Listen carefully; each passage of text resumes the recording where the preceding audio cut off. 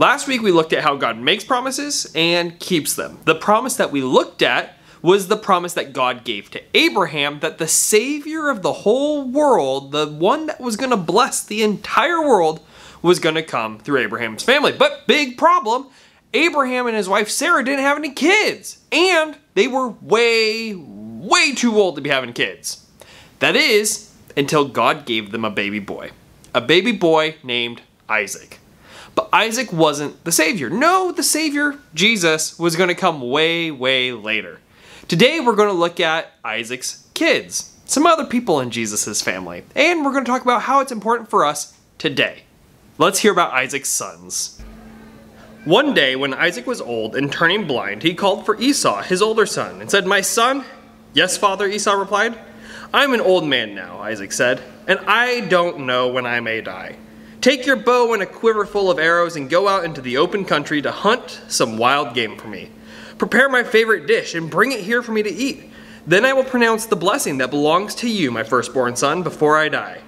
But Rebekah overheard what Isaac had said to his son Esau. So when Esau left to hunt for the wild game, she said to her son Jacob, Listen, I overheard your father say to Esau, Bring me some wild game and prepare me a delicious meal. Then I will bless you in the Lord's presence before I die. Now, my son, listen to me, do exactly as I tell you.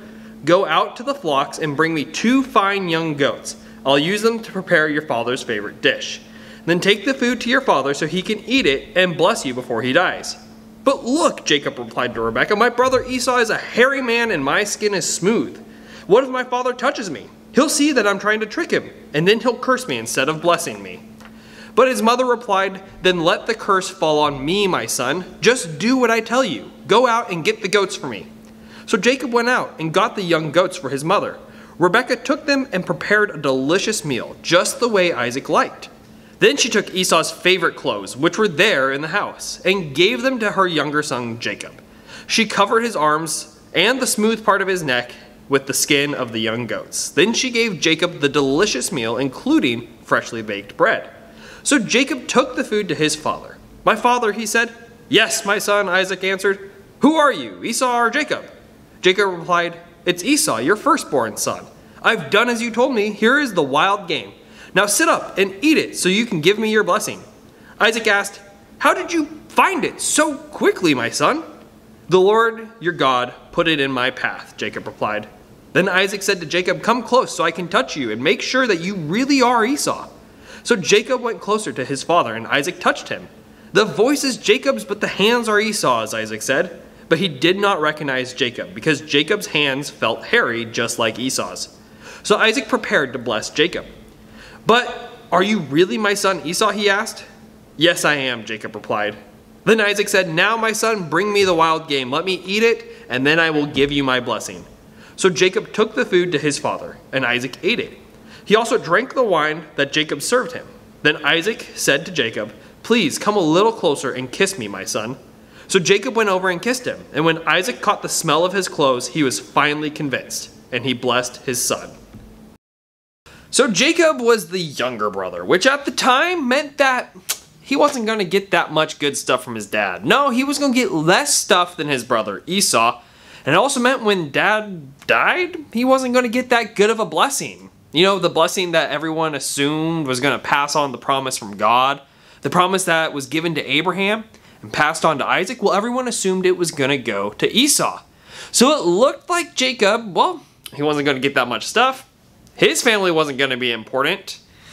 Well, that is until him and his mom came up with a plan to trick Isaac.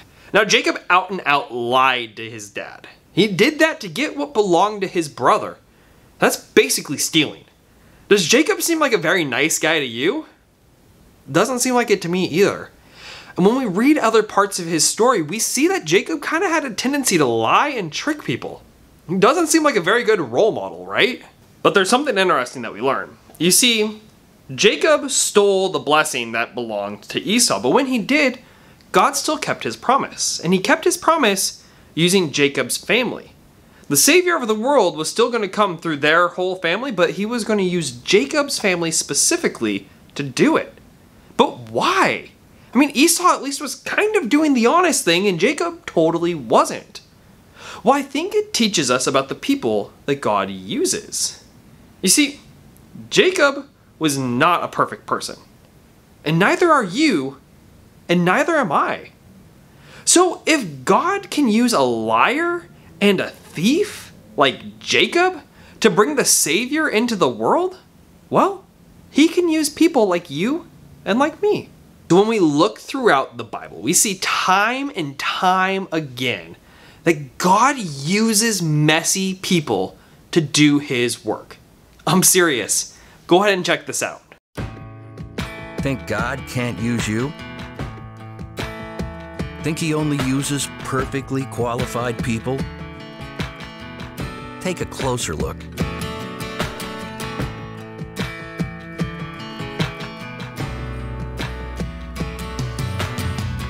Moses was not a great speaker. Jonah ran from God. Jacob was a liar. Noah got drunk. Rahab was a prostitute. David had an affair. Jeremiah was depressed. A lot. Solomon was rich in wisdom, but poor in lifestyle. John the Baptist was just plain poor. Timothy was too young. Abraham was too old. Lazarus was dead. Sarah was barren. Naomi was a widow. Gideon and Thomas both doubted. And so did Sarah. Peter lacked self control. James and John were self righteous. Paul had a short fuse. Well, so did Peter and Moses. Actually, lots of people did. God's army isn't perfect. It never has been. It's the march of the unqualified. Get in line.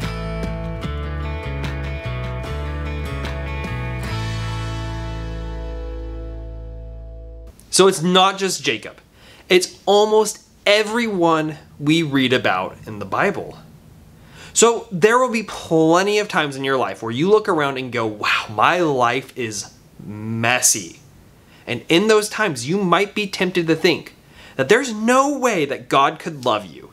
There's no way that God could want you. There's no way that God could use you to do His work.